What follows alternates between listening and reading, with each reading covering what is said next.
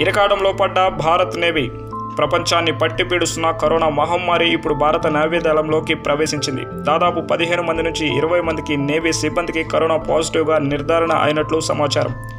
Virus సోకినప్పుడు వీరంతా INS angry చెందిన నివాస స్థావరాల్లో ఉన్నట్లు తెలుస్తుంది. ప్రస్తుతం వీరి ముంబైలోని ఐఎన్హెచ్ఎస్ అశ్విని నేవీ నేవీ ఆసుపత్రులకు తరలించి చికిత్స అందిస్తున్నట్లు సమాచారం. భారత నేవీలో కరోనా కేసులు వెలుగులోకి రావడం ఇదే తొలిసారి. దీంతో అప్రమత్తమైన అధికారులు వైరస్ సోకిన వారితో కలిసి వారిని గుర్తించే పనిలో పడ్డారు. అలాగే ఆ చుట్టుపక్కల విధులు నిర్వహిస్తున్న సైనికుల్ని కూడా గుర్తించేందుకు ప్రయత్నిస్తున్నారు. సో ఇలాంటి అప్డేట్స్ కోసం ఖచ్చితంగా వస్తా టీవీని సబ్స్క్రైబ్ చేయండి. బెల్ ఐకాన్ని క్లిక్ చేయండి.